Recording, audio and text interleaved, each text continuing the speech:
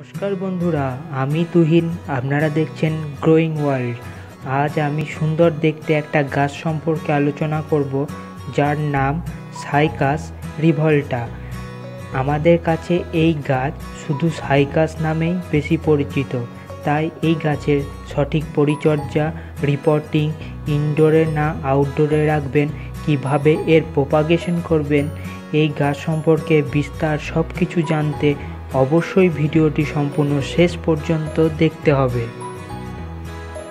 এখন আপনাদের সামনে যে গাছটি দেখতে পাচ্ছেন, সেটি হলো সাইকাস বা স্যাগো পাম এটি পাম প্রজাতির গাছ। এই গাছের পরিচর্যা খুবই সহজ ও সাধারণ।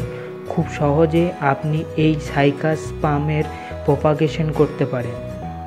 এই গাছ খুবই অল্প বাড়ে, তাই আপনাকে এর পিছনে বেশি সময় দেওয়ার দরকার নেই। এই গাছ যখন বড় হয় তখন এর পাতাগুলো পুরো রাউন্ড শেপের বের হতে থাকে। আপনারা দেখতে পাচ্ছেন আমার গাছটা কত সুন্দর হয়েছে। গাছের পাতাগুলি সারা বছর এভাবে সবুজ ও চকচকে থাকে। এই গাছকে আপনি চাইলে সম্পূর্ণ আউটডোরে ডাইরেক্ট ব্রাইট সানলাইটে রেখে দিতে পারেন। দেখুন, আমি ডাইরেক্ট সানলাইটে রেখে দিয়েছি। একে আপনি ছাদ বাগানেও লাগাতে পারেন অতি সহজে। সাইকাসকে ইনডোরে রাখতে পারেন, কিন্তু যেখানে রাখবেন সেখানে অন্তত চার থেকে পাঁচ ঘণ্টা ইনডাইরেক্ট ব্রাইট সানলাইট যেন আসে, সেই স্থানেই রাখুন। সাইকাস একটি হার্ডি প্লান্ট হলেও একে ইনডোরে সেইভাবে রাখা যায় না, তবে না রাখাই ভালো। আউটডোরে যেভাবে এর গ্রোথ ভালো হয় ইনডোরে কিন্তু গ্রোথ তেমন হবে না এবং আপনার পাতাগুলো এভাবে চকচক করবে না। গাছকে আপনি যেমন টবেও লাগাতে পারেন, আবার মাটিতেও বসাতে পারেন, তবে মাটিতে বসালে এর গ্রোথ একটু তাড়াতাড়ি হয়। আপনারা এখন যে সাইকাস গাছটি দেখছেন, এটি প্রায় পাঁচ সাইকাস গাছের সবথেকে ভালো গ্রোথের সময় হলো এপ্রিল টু অক্টোবর। তাই এই গাছে নতুন নতুন পাতা বের হতে থাকে এবং গাছের সেন্টার থেকে নতুন নতুন পাতা বের হয়। এই গাছকে যদি টবে বসাতে হয়, তাহলে অবশ্যই ওয়েল ড্রেন সয়েল ব্যবহার করুন।